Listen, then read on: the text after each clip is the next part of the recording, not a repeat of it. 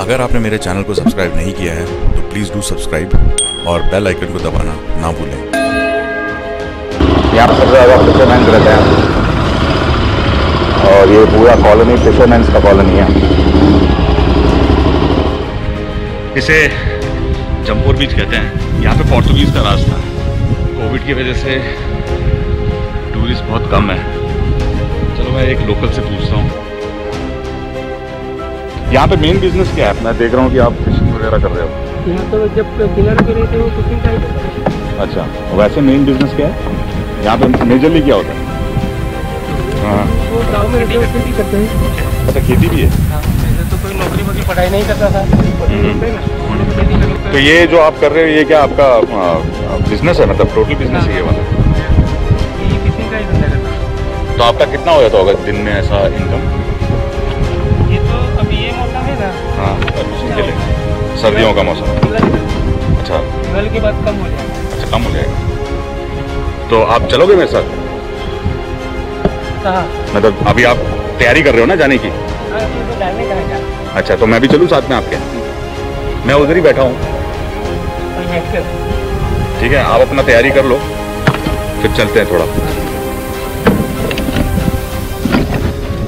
मैं अभी भगवान भाई के साथ जा रहा हूँ फिशिंग के लिए।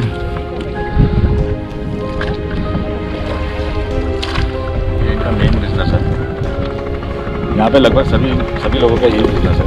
मतलब यहाँ पे आ, कितने लोग ये काम करते हैं?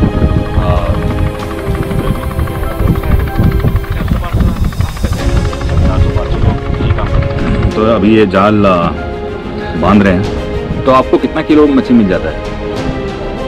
कभी दस बारह किलो भी मिलता है कभी दो तीन किलो भी मिलती है।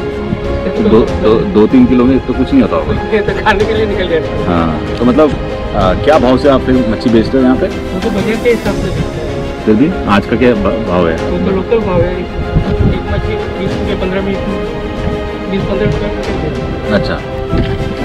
तो इन्होंने जाल डालना शुरू किया है।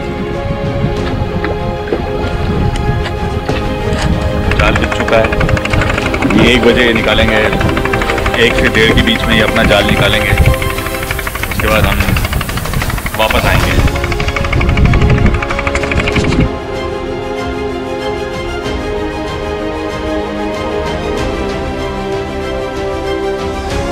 जब ये कोविड वगैरह चल रहा था तो आपका बिज़नेस थोड़ा डाउन था?